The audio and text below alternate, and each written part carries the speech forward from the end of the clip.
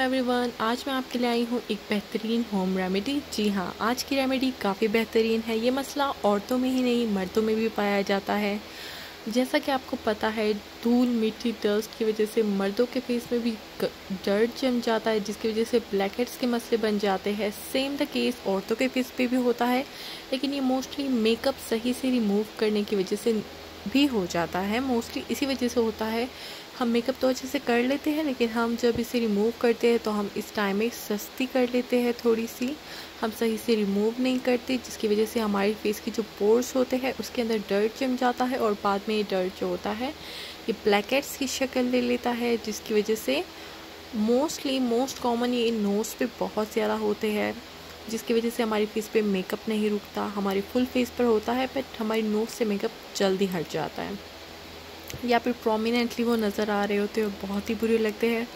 लड़कियाँ इन्हें छेड़ती है तो इनके फेस पे अगर हाथों से ज़ोर करके या फिर किसी और चीज़ से ज़ोर करके इसे निकालती है तो उनके फेस पर आ उनकी नोज़ पर आ जाते हैं पिंपल्स जो एक और अलग मसला है, क्योंकि अगर आप पिंपल्स को भी छेड़ेंगे तो दाग रह जाता है, ये उससे भी बड़ा मसला है।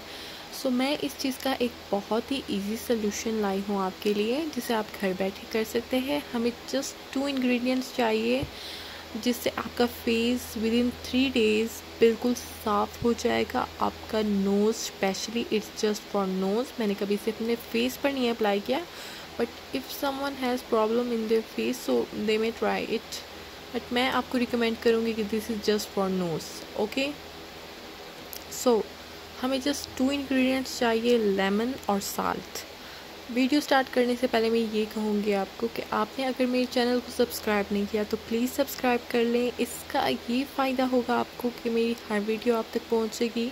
और अगर आप बेल आइकन को दबा देंगे तो फिर मेरी हर वीडियो की नोटिफिकेशन आप तक जल्द से जल्द पहुँचेगी। तो हमारे इंग्रेडिएंट्स जो है, वो बहुत ही ज़्यादा कॉमन है।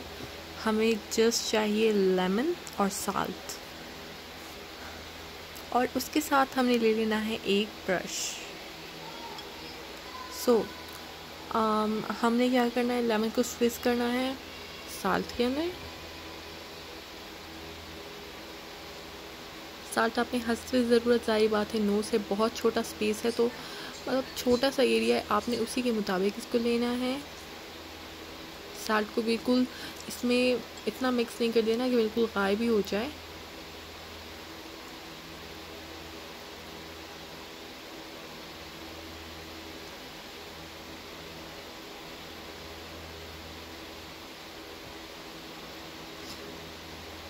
ईद से पहले मैं फेस वाइटनिंग रेमेडी भी बता चुकी थी। मुझे उम्मीद है कि आप सबने ट्राई किया होगा और बेहतरीन रिज़ल्ट आया होगा। अगर आप नहीं देखी तो मैं डिस्क्रिप्शन बॉक्स में उसकी, उसका लिंक भी भेज रही हूँ डाल रही हूँ। आप वहाँ जाके देख सकते हैं और मुझे इंस्टाग्राम फेसबुक हर जगह पर फॉलो भी कर सकते हैं। मैं लिंक हर चीज़ का डाल देती हूँ। Okay okay. सो हमने ये मिक्स कर लिया है लेमन और साल्ट को। अब आपने करना ये है कि एक ब्रश लेना है। उससे इसको लगाना है अपने नोज़ पर बट गाइस रिमेंबर आपने ऐसा नहीं करना कि जिस तरह आप बेरहमी से अपने दांतों को ब्रश कर रहे होते अपने नोज़ को आपने बिल्कुल भी ऐसे ब्रश नहीं करना। बहुत ही सॉफ्टली करना है, क्योंकि ये हमारी फेस का पार्ट है सो बहुत ख्याल से आपने करना है इसे। और हाँ इसे थोड़ी देर तक छोड़ देना है, उसके बाद आपने फिर से ब्रश करते हुए इसे धो लेना है। गाइस हम रोज़ाना टिप तो ब्रश करते ही है। अगर आप चाहें उसी के साथ आप अपना एक्स्ट्रा ब्रश रख लें अपने नोज़ के लिए, और उससे आप अपने नोज़ को भी ब्रश करते रहें। ये ये अगर आप तीन दिन अप्लाई करेंगे तो आपको अच्छा बेहतरीन रिज़ल्ट मिल जाएगा।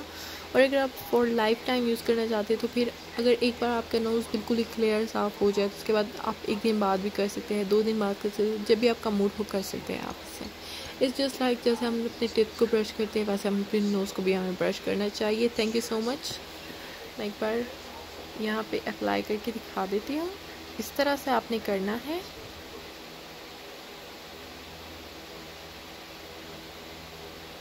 ज़्यादा रगड़ रगड़ के नहीं करना क्योंकि it's no so be careful about it I hope so आपको मेरा, मेरी वीडियो पसंद आई होगी और अगर वीडियो पसंद आई है तो कर दीजिए लाइक सब्सक्राइब और बेल आइकन भी दबा दीजिए. Thank you so much